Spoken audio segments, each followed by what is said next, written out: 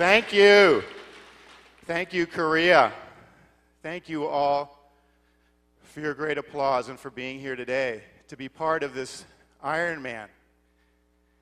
This Ironman, to me, the Ironman is a metaphor for three venues, three venues in which individuals can go beyond their self imposed limitations.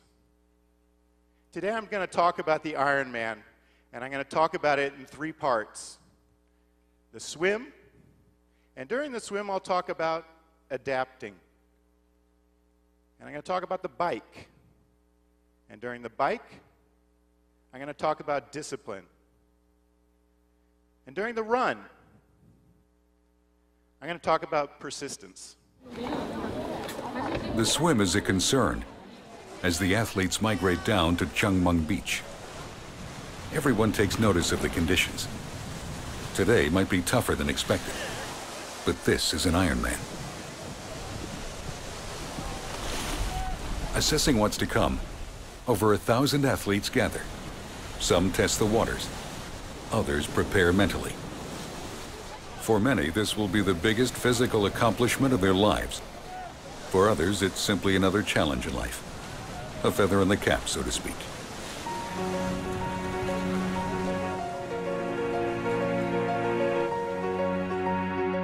Gregory Burns, 48.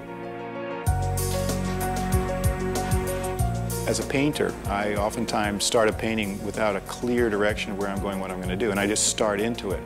And sometimes when I don't, when I'm training, I don't really want to get in the pool and swim. But I know if I get in and just get over the hump, I'll probably finish the whole workout. I know if I take the first step, the second one will probably be easier. So there's that momentum that you build after starting. You know, I think we all have notions or ideas or a feeling of what we can and can't do and what we need to do. And um, to me, that's what challenge really is, is when you come up against something that you, you know you're meant to do. And if you know you're meant to do it, then you have to do it. Have a good chance. One of the most limiting things is just not, not even trying. I got polio when I was a year old.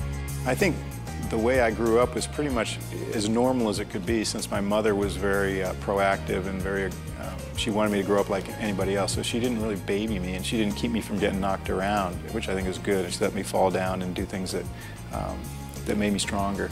And I think that was probably what made the big difference in the long run was that um, left to my own devices, I figured out the way to do it, what I had to do.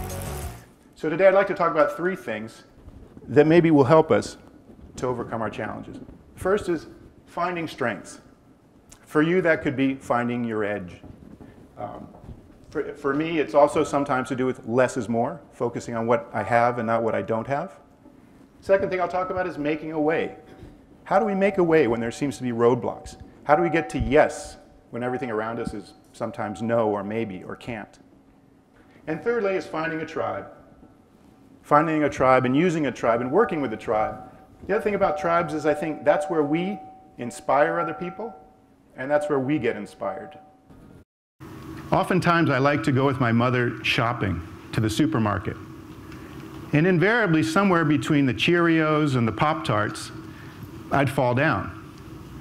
And I'd be on the ground, and my mother would look down, and I'd be trying to struggle to get myself up. And as a five year old with crutches and braces, and just learning how to get my feet on the ground, so to speak, it took a while. And all the time I'm struggling to get up, all these other mothers are looking at my mother and thinking, this woman is crazy. Why isn't she helping up this poor little crippled boy? And my mother had to withstand these stares and these, because she knew what they were thinking, and waited patiently until I got up. And then we went on our way. I learned a couple things there. I, I learned really what's on the bottom shelf at the supermarket. but I also learned that it's, it's not always a good idea to follow or listen to the fears and the opinions of others. The fir- actually, the first, uh, the, first mountain I did climb was actually the, uh, there was a pile of dirt next to my second grade classroom, and I, I climbed that. And, but that, that kind of got me inspired to climb bigger mountains. And, And, I, and then, I, then when I was about 24, I decided, you know, I heard about this marathon in Hawaii, and I thought, I'd like to do that. And I was living in California at the time, and I wrote in. It was not like today we have internet. I wrote in, and I, I applied, and I got my, my bib number and everything. I went, went to Hawaii, and I, I didn't have enough money for a hotel, so I slept in the park next to the starting line. And 6 a.m., bam, the gun goes off, and everybody, you know, everybody's running and running. And 8 a.m., the fastest runners are, are finished, and the 10 a.m., most everybody's finished. By 12 o'clock, they'd actually taken down the finish line, and every Waikiki went back to being Waikiki. And, and I was still out running. And I didn't know any of this because I was out somewhere in, in Haleiwa or somewhere out there. You know, and here I'm running along, running along, and and I had my number on, so I, I knew what I was doing. And people would drive by and say, What are you doing? I said, I got my number. I'm running a marathon. They, oh, that's cool. And they'd run out, they'd drive back home, and then they'd come back and they'd give me a, a bologna sandwich or a 7 Up or something. And people kept, you know, asking me all day, What are you doing? What are you doing? And finally around six o'clock, this, this guy says the same, he comes by, says, what are you doing? I tell him, I say, I'll be right back. And, yo, fine, that's great. So I keep going, I keep going. And about half an hour later, this black van drives up, and I thought it was the KGB or something, and out, the, jump, the doors open up, and out jumps this film crew, like these guys here today, and they start filming me, an interview. So, Mr. Burns, what are you doing? Why are you doing this? What I just talked, and I kept going, and, and then they disappeared. And about 9 o'clock at night, I see this bunches of people as I'm running back towards the finish line there are all these people yelling and screaming and going, go, go, go. And, and, and by the time I got to the finish line, the finish line had been brought back.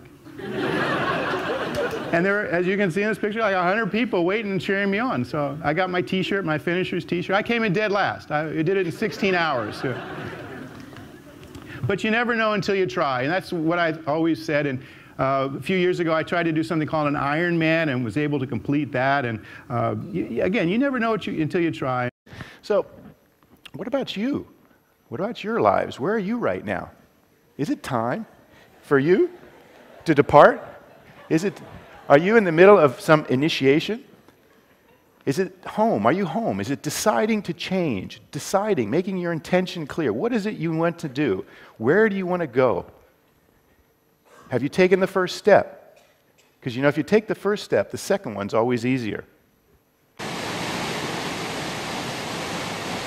I think that having a disability, any kind of disability or any kind of challenge, forces you inadvertently or on purpose to, to appreciate what you have and to uh, make everything count.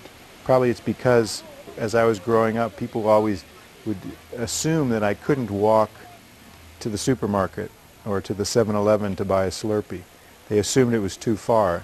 And I really wasn't interested in knowing what they assumed to be right or wrong. I just wanted to know how far it was so then I could make the decision on whether I could walk there or not. But I think the bigger disabilities are in our minds and in our hearts. And I think that if you have a desire, a dream, a, um, a passion for life or a job or a relationship or whatever that is, if you can pursue that and, and push that, then you succeed, no matter what your ability or disability is. Disabilities can at times be blessings in that they challenge us, they push us, they make us become more than we would otherwise be. We all have different challenges. We're all different in many ways. but what we need all to do is not to be limited by our limitations. Thank you very much.